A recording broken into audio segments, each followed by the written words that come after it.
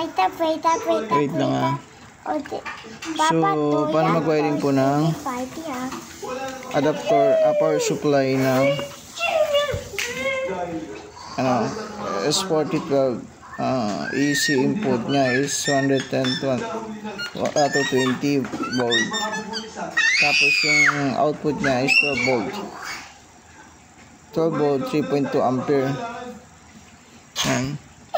Yung pag-wiring nito is, yung diagram niya is line niya. Yung line niya from sa output ng kuryente. Dito siya. Dito papasok. Sa L line. L N. Alternating current. Itong dalawa dito. So dito yung source niya.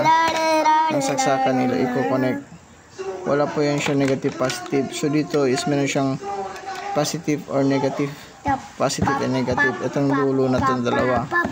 So, kung gamitin nyo sa mga ano, bendo machine or car wash bendo machine din or pisonet bendo machine, ito yung magiging output niya. And then dito yung source niya. Makikita nyo naman din dyan. So, LN at saka yung negative, positive. So, volt. Yan. Positive and negative. And then, ito, bumili ako ng ano, ah, motor, ah, ah, control, speed controller, speed controller para dito sa self, flow na self flow na water pump ko para gamitin sa foaming machine.